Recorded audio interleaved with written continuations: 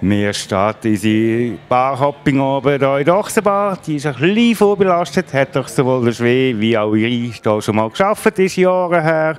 Aber es hat Spass gemacht.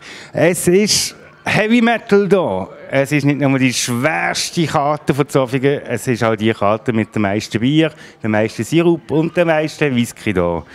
Es ist jetzt 6 Uhr am Abend, es ist leer, weil draußen ist schön, die Leute hocken draußen. Wenn es regnen wäre auch voll.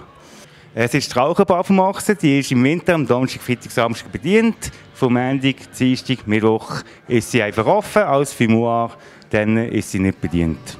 Dirty old town, dirty old town, dirty old town.